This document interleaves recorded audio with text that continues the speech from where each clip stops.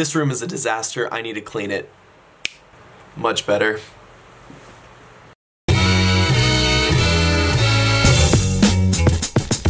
May 17th, 2016. Today I went to a picnic with my team. It was actually a very good time, I had some good conversations, but when I go to these things, I always eat too much, and it was like a potluck type thing, so there were cookies and more cookies and cheeseburgers and hot dogs and everything unhealthy, and I want to eat healthy leading into the trials, but tonight I just like, or not even, it's not even nighttime yet, but like this evening I just kind of didn't eat too healthy. So don't hold it over my head. It's been a it's been a long two days. Trust me. I just I felt like I really needed some type of comfort food. Not really comfort food, but just something that tasted better than salad. So tomorrow I'm gonna eat very healthy. But today, yeah, I guess it, it just I didn't. And like since I haven't been able to eat very solid foods recently. My mouth was feeling better this evening, so I decided to go a little overboard. Self-control with food is really hard for me. A question I get not very often, but one that has been asked a couple times and is kind of interesting to me is how I edit my videos. Now with the daily vlog style, it's super easy, but I think for this vlog, I want to show you guys what I do to edit my videos. So I'm just going to kind of re-edit one of my older videos and just show you how the flow works. Since I'm too lazy to use a screen recorder, I'm just going to film it on my camera. So I use Adobe Premiere Pro CC. I've been using it for like two or three years now. The Adobe Cloud, the Creative Cloud is just so good. So I highly recommend the Creative Cloud with Premiere. I use Photoshop, Lightroom, After Effects, but for these vlogs I use Premiere.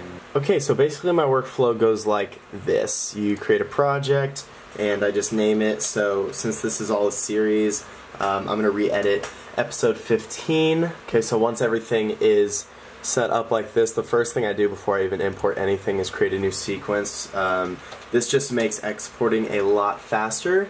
So in exporting I don't have to change the name. So once I have that, I have two computer screens and I click and drag all of my files down into this section.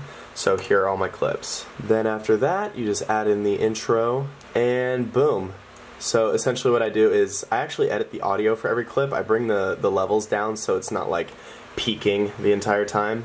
So for this, you just kind of play. So today was the day that I went and played bass at my church. Hudson came with me. Here's the intro and then the clips from the day. And then you just kind of trim it to where you want, and then I throw the intro in, and boom, there's that. And then basically what I do is I just throw all the clips in and cut them as needed, um, bring the levels down so everything's not completely blown out. And essentially, like a clip like this. So what I did, if you guys have not seen uh, episode 15, go watch it. So for this, we were playing um, some copyright music, but I was showing Glenn like the lyrics to one of Kanye's new songs, and these lyrics were absolutely insane. So I thought it'd be funny to get his reaction, but to avoid copyright, I couldn't have the song in there. So this is what I did. So if you guys have ever read the description of one of my videos, I get all of my background music from an artist on YouTube named Chuki. And for this video, um, I just took like a hard bass heavy rap sounding thing, threw it in at the part where I wanted the lyrics cut out.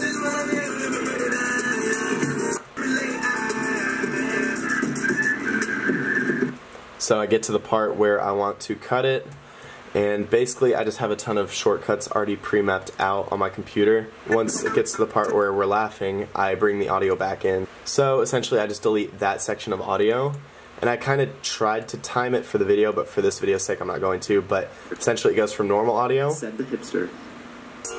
to just the random background music that's copyright free that I can use and not get in trouble with Kanye's producers, but you still get to see Glenn's reaction. and then it goes back to the audio. And so once I get to the end of a video, I don't do it every single time, um, just because I, I don't like it as much, but I have this outro that I import, and it's a preset outro because there's no way I would do this every single time, but I made this a long time ago, so there's that, and then I always take that previous day's video and throw it down in this corner, so I just bring it on top.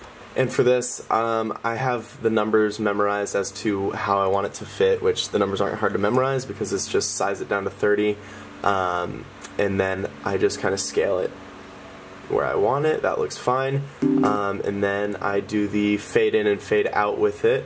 So for time's sake, that's where it starts full 100% opacity. That's where it ends. Go to the end, type in a zero, and go to when it starts and type in another zero. And that is how I do the outro. So when a video ends, there it all pops up together. Um, and you can click on the the video typically every time in the final video that you're watching on YouTube and you can go directly to that video. I don't know if any of that made sense, but that's kind of my video workflow, my edit flow. Um, I just kind of go clip by clip in order throughout the day, so it's chronological. Throw in the intro, throw in the outro. Um, there's really not much editing that goes on. It's just a lot of piecing together, cutting out the breaths, cutting out the, the moments where I'm talking and I'm kind of paused so I can think about what I'm going to say next. But honestly, it's really simple. So if anyone's like discouraged about starting a vlog or making videos because they're scared of editing, editing can be scary, but if you keep it as simple as possible, it is pretty enjoyable and it's a pretty quick workflow. Like I, I think I edited the original version of episode 15 in maybe 10 minutes. It does not take long. Um, the videos that do take longer are the ones with a lot of effects and a lot of titles, intros, outros. But this basic vlog style is very, very quick, very, very easy. So I highly recommend if you guys are doing vlogs and you're just kind of discouraged because editing might take a while, just try it out, try doing it in a simple way. And the easiest way to try that out is just don't get crazy with intros and outros or text. Just cut out all the pauses and you'll see that it'll flow a lot better. And with time, you'll enjoy it more. It'll get a lot better. It'll get a lot easier. But that is my workflow. I haven't used Premiere my entire life. I started on Windows Movie Maker and then moved to VideoPad, which is a free editing software, kind of like iMovie. I had a PC though, so I couldn't use iMovie, but iMovie is an awesome thing to start with. So if you are doing editing as like something every day and it is something you want to get into, I recommend the Adobe Cloud. But if you are just making vlogs and doing them occasionally, not doing them every day, just kind of doing it for fun and want to learn the basics, definitely go with like iMovie, VideoPad, Windows Movie Makers. You can't go wrong with those things. They're there for a reason and they do a great job. So May 17th, all I did was talk about how to edit vlogs. Oh, and I cleaned my room, kind of. As you can see, it got destroyed again, but that's, yeah, whatever. Anyway, that's it for this video. Thanks so much for watching. If you're new, be sure to hit subscribe because I'm here every single day. Tomorrow, um, I am going to out of town. We'll see what I'll film. See ya!